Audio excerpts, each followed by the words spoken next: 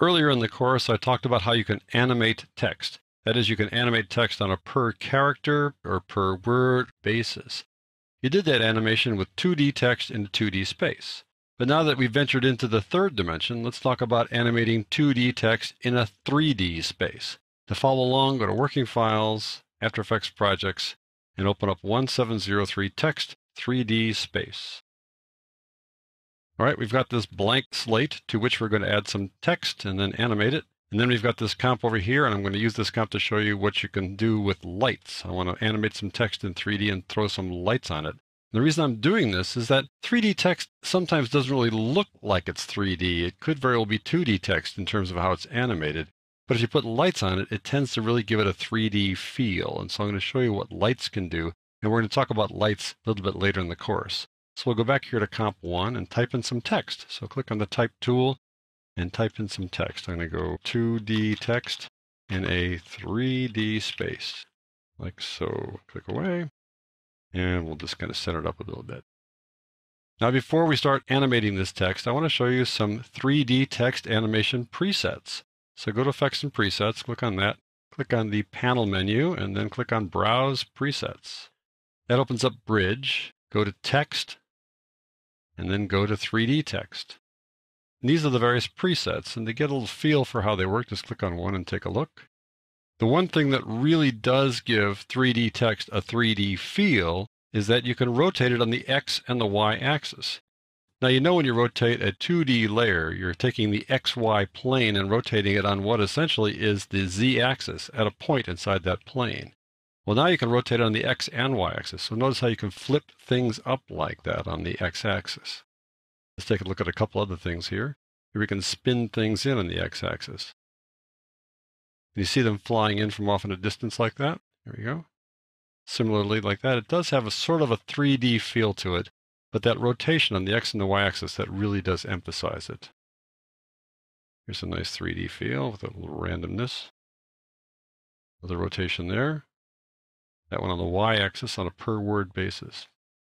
All right, you know, if you select a text string inside your comp and then double click on one of these guys, it automatically will add this animation preset to that text.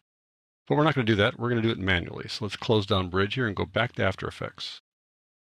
All right, we want to animate this 2D text in 3D space. And what you need to do is you need to switch that on. Now, we've talked about switching on this little 3D box here to make a layer 3D, but that's not really how you do it with text. We can make this a 3D layer and the whole layer will behave as if it's in 3D space.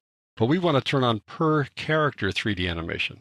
And the way you do that is you go on down to the animate menu, right down here next to text, click on the animate flyout line there. And at the top it says enable per character 3D. That's the cool thing. Now you need to add some things that you want to animate. So go down here again and click on the things that you want to add. So we'll animate, let's say position, now we're going to add some things, not animate. Now we're going to add them because we don't want to add another animator. So we add, let's say, property, and we're going to add O scale. Add another one, let's say rotation. There we go. And add the good old favorite opacity. I've got all these things. Notice, of course, they've got X, Y, and Z values now. We've got three different kinds of rotations. The cool one for me is Y and X. Let's look at the Y rotation. It's on a per character basis. You rotate everything individually like that. There you go. And the X lets things dip right over like so. You can change the anchor point so it doesn't have to be at the bottom of the text, but I think that looks pretty cool. So let's just do that. I want to have the text be tipped over like this. I want to rotate it a bit on the Y axis like so. There you go. And that's how we're going to animate it in. Let's change the position too. I want to bring it, let's say, toward the camera. So go toward the camera, that's a negative value. So I'm going to take the Z value and pull it toward the camera like that. Okay. And let's just keep the opacity at 100% now, but we'll drop it later.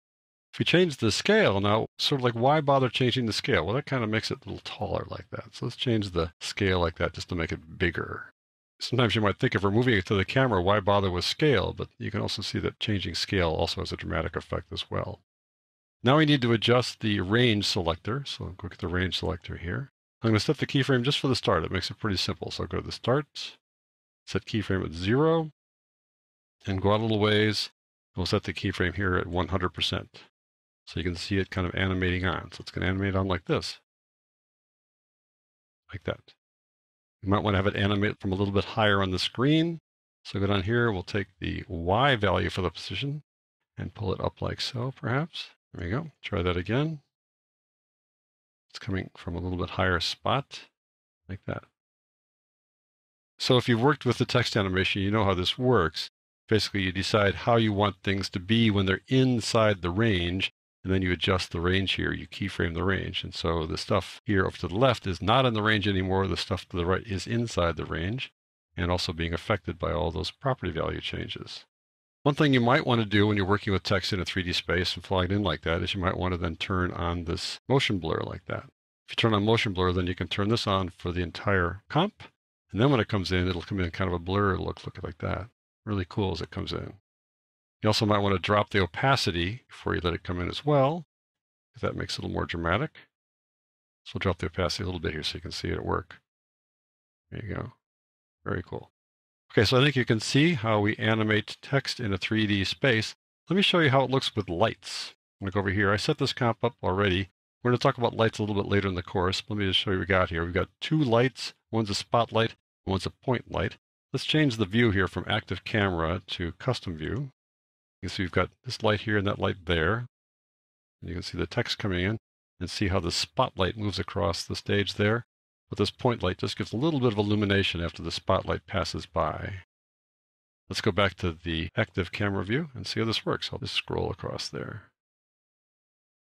So now you see when you've got this text coming in, it's actually coming out of the background. It's coming through the back there like that. Now when you got this with the light, definitely makes it look more 3D as you've got a drop shadow falling on that background there. So that is how you animate 2D text in a 3D space.